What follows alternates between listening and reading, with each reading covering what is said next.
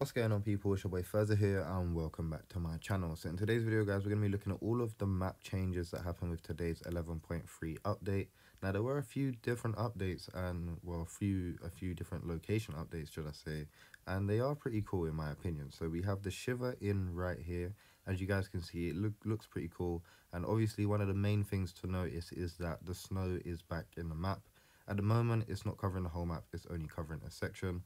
Now within this section of the map, obviously guys, you guys will find certain sculptures and these sculptures will obviously go with the Frozen bundle. So you have the Devour skin right there, then you have the Frozen Fiddlesticks right here. And then last but not least, you'll have a sculpture for the Frozen Nog Ops, which I'll show you guys in a second. It's pretty similar to what we saw last year um, when we had the Frozen sculptures of the Raven, uh, the Red Knight, and the Love Ranger. Exact same thing um, moving on, we have the Crackshot Cabin, which is a new addition as well. So obviously it's just a cabin in the center of the map, sort of, and it has some Christmas trees and some chests under the Christmas trees.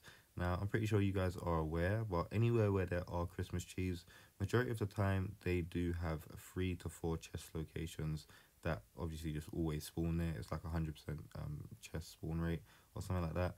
The next location we have, guys, is a new dance club which is just southwest of Misty Meadows on the Snowy Mountain.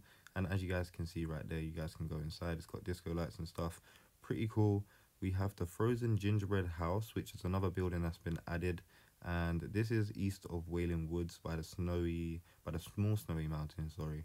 And as you guys can see right there, it's just like a little igloo, little house for the gingerbread man. Pretty cool in my opinion and then obviously we have christmas bushes and stuff like that that's been added around the map as well. As i said the whole map will get covered in snow eventually. At the moment we only have a certain section of the map covered.